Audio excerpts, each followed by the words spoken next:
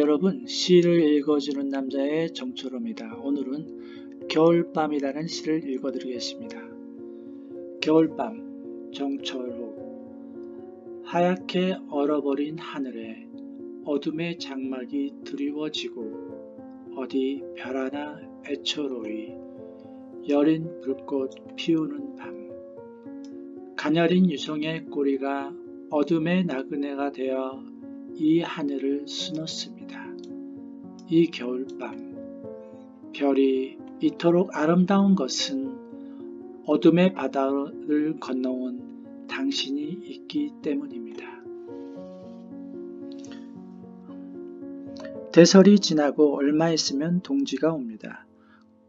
코로나로 정신없다 보니 아쉬운 가을도 보내고 차디찬 겨울을 맞이하게 됐습니다. 그래도 겨울에는 눈이 있어서 잠시 추억에 젖어보곤 합니다. 아직 첫눈은 오지 않았지만 인류가 바라던 백신이 나와서 이번 겨울은 따뜻해질 것 같습니다.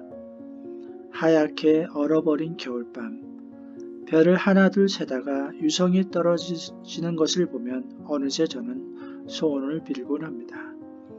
아무리 겨울이 춥고 힘들어도 옆에 사랑하는 사람이 있다면 이 겨울도 그리 어렵지 않을 것 같습니다.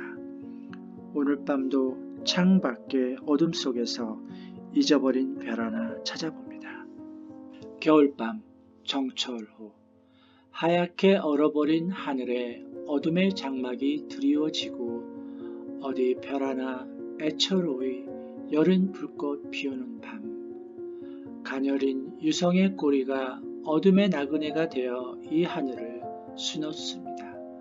이 겨울밤 별이 이토록 아름다운 것은 어둠의 바다를 건너온 당신이 있기 때문입니다. 네, 오늘은 겨울밤이라는 시를 읽어드렸습니다. 감사합니다.